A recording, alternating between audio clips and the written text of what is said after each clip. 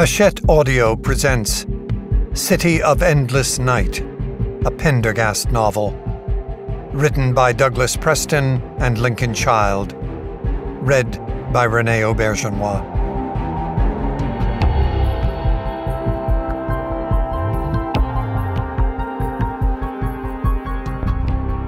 Lincoln Child dedicates this book to his wife, Lucy.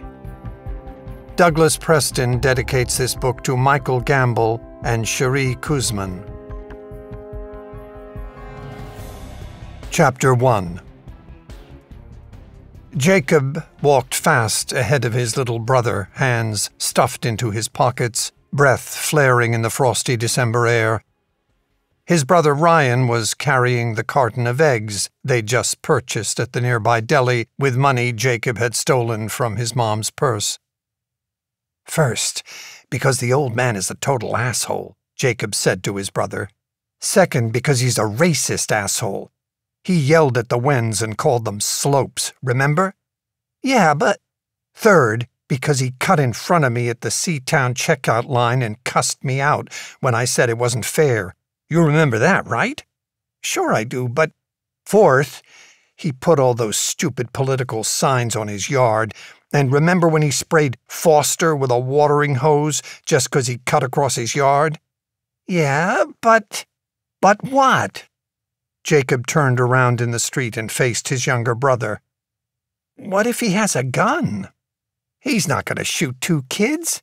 Anyway, we'll be long gone before the crazy old turd even knows what's happened. Uh, he might be Mafia. Mafia? With a name like Bascom? Yeah, right.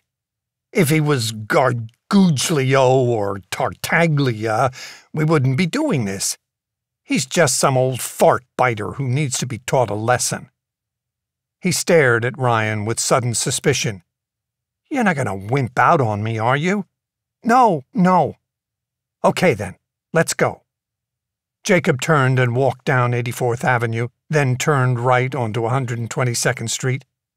Now he slowed and went onto the sidewalk, moving along easily, as if out for an evening stroll. The street was mostly single family homes and duplexes, typical of the residential Queens neighborhood, and it was festooned with Christmas lights. He slowed further. Look at the old guy's house, he said to his brother. Dark as a tomb. The only one with no lights. What a Grinch! The house was at the far end of the street, the streetlights shining through the leafless trees cast a spiderweb of shadows across the frozen ground. Okay, we stroll along like nothing's happening. You open the carton, we unload a bunch of eggs on his car, then we beat it around the corner and just keep going. He'll know it was us. Are you kidding? At night? Besides, all the kids in the neighborhood hate him. Most of the grown ups, too. Everyone hates him. Uh, what if he chases us? That old geezer? He'd have a heart attack in seven seconds. Jacob sniggered. When those eggs hit his car, they are going to freeze, like right away. He'll have to wash it ten times, I'll bet, just to get them off. Jacob approached the house along the sidewalk, moving cautiously now. He could see the blue glow in the picture window of the split level ranch. Bascom was watching TV. Car coming, he said in a whisper. They ducked behind some bushes as a vehicle turned the corner and came down the street, headlights sweeping along, illuminating everything. After it had passed, Jacob felt his heart pounding. Ryan said, You know, maybe we shouldn't. Shut up! He emerged from behind the bushes. There was more light in the street than he would have liked, cast not only by street lamps, but also by the Christmas decorations, illuminated Santas, reindeers, and creche displays on the front lawns. At least Bascom's place was a little darker. Now they approached very slowly, keeping to the shadows of the parked cars along the street.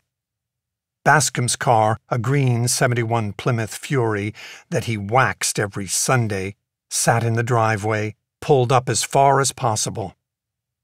As Jacob moved along, he could see the faint figure of the old man sitting in a wing chair, looking at a giant screen TV. Hold up. He's right there. Pull your hat down. Put your hood up. And the scarf. They adjusted their outerwear until they were well covered and waited in the darkness between the car and a large bush. The seconds ticked past. I'm cold, Ryan complained. Shut up! Still, they waited. Jacob didn't want to do it while the old man was sitting in the chair. All he had to do was stand up and turn, and he'd see them. They would have to wait for him to get up. We could be here all night. Just shut up. And then the old geezer stood up. His bearded face and skinny figure were illuminated by the blue light as he walked past the TV and into the kitchen. Go! Jacob ran up to the car, Ryan following. Open that up! Ryan flipped open the carton of eggs and Jacob took one. Ryan took another, hesitating. Jacob threw his egg, which made a satisfying splat on the windshield, then another and another. Ryan finally threw his, six, seven, eight. They unloaded the carton on the windshield, the hood, the roof, the side, dropping a couple in their hurry. What the hell? came a roar, and Bascom burst out of the side door, wielding a baseball bat, coming at them fast. Jacob's heart turned over in his chest. Run! he yelled.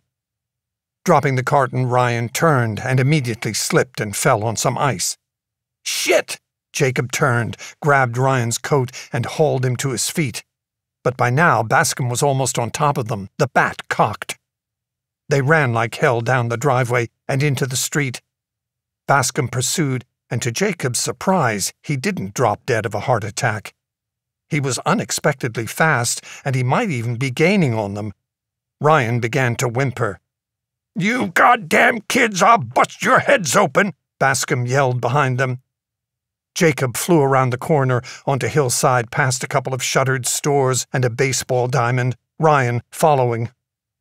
Still the old bastard chased, screeching with that baseball bat held high. But it seemed he was finally getting winded, dropping back a little. They turned onto another street.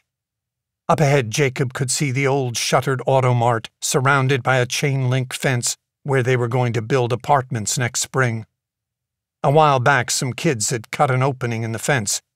He dove for the opening, then crawled through, Ryan still following.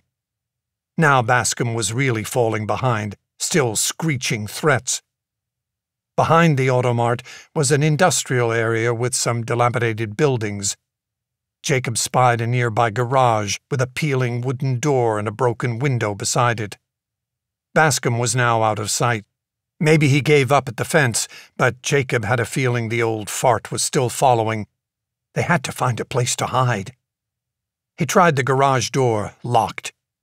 Gingerly, he stuck his arm through the broken window, felt for the knob, turned it from the inside, and the door creaked open. He went in, Ryan following, and carefully and quietly he shut the door and turned the bolt. They stood there in the blackness, breathing hard, Jacob feeling like his lungs might burst, trying to stay silent. Dumb kids, they heard shrilly in the distance. I'll bust your balls. It was dark in the garage, which seemed empty except for some glass on the floor. Jacob crept forward, taking Ryan's hand. They needed a place to hide, just in case old man Bascom somehow thought of looking for them in here. It seemed the crazy old coot really would clobber them with that bat. As Jacob's eyes adjusted to the dimness, he saw a pile of leaves in the back, a large pile. He pulled Ryan in that direction, and he dug into the leaves, lying down on the soft surface and sweeping his hands around, piling the leaves over himself and his brother. A minute passed. Another. No more shouting from Bascom. All was silent. Gradually, Jacob recovered both his breath and his confidence. After another few minutes, he began to giggle. the drooling old bastard! We got him good! Ryan said nothing. You see him? He was like chasing us in his pajamas. Maybe his dick froze and broke off. You think he saw our faces? Ryan asked in a quavering voice. With the hats, scarves, hoods, No way. He sniggered again. I bet those eggs are frozen hard as a rock already. Finally, Ryan allowed himself a little laugh. Dumb kids, I'll bust your balls, he said, imitating the old man's high, whistling voice and heavy Queen's accent. They both laughed as they began rising from the leaves, brushing them away. Then Jacob sniffed loudly. You farted. Did not. Did so. Did not. He who smelt it dealt it. Jacob paused, still sniffing. What is that? That's no fart. That's.